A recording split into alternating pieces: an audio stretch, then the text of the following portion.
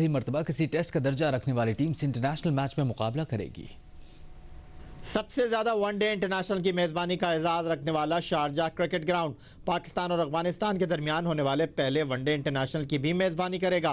Pakistan cricket team के कप्तान मिसबाउल हक का कहना है कि मुकाबला किसी भी टीम से हो इंटरनेशनल मैच का दबाव ज़रूर होता है।